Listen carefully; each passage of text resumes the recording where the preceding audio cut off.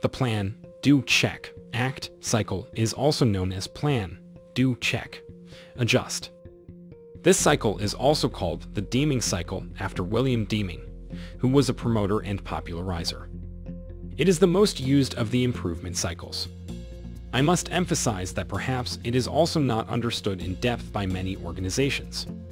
In particular, there is a tendency to spend a lot of time in the do phase, forgetting almost completely the plan, check, act phases. The PDCA cycle is a scientific method. Deming pointed out that the four phases had to be balanced. It is not correct to go fast on the plan, to spend a lot of time on the do, to skip the phase of check, and to spend little time on the act phase. The PDCA cycle is considered one of the fundamental pillars of the Toyota production system. Deming argued that organizations should think about change and improvement like a scientific experiment. They should make assumptions, observe phenomena, perform experiments, and learn from failures by refuting hypotheses. Let's now go into the details of each phase. Step 1. The plan phase is not just about planning what to do.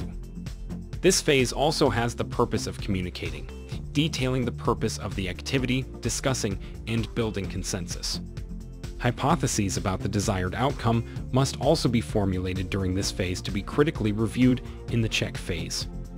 The plan phase is also used to plan the cycle execution times. It is said that the approach of Japanese companies is to spend a lot of time planning in order to have a faster and smoother implementation. Even Einstein was of this opinion when reading a famous aphorism of him. If I had only one hour to save the world, I would spend 55 minutes defining the problem and only 5 minutes finding the solution. Step 2. Do. This phase, if you took adequate time in the previous phase, should go well and quickly in summary of this phase, the planned improvement must be realized, usually in a prototype stage. Step 3. Check. This phase is of vital importance for an organization that wants to become a learning organization. Very often it is a phase that is skipped and many learning opportunities are missed. Here are some questions for a good check phase. Is it working as you predicted? Did it work out as planned? If not working as planned, what caused the gap? What we can learn from this experience. Step 4. Act. This step is also called adjust. If we have worked well, we will be able to standardize the goals achieved. The new standard achieved must reflect the best process currently obtainable. Clearly, the process will not be frozen forever. You have to think of improvement as a continuous movement from a standard to a better standard. This continuous cycle is triggered by another iteration of the PDCA cycle.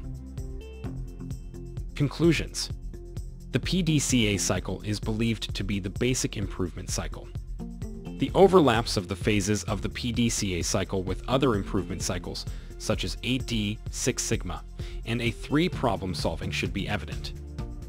Regardless of the improvement cycle you would like to adopt, remember that discipline in not jumping the steps is fundamental, and you have to dedicate the right time for each phase.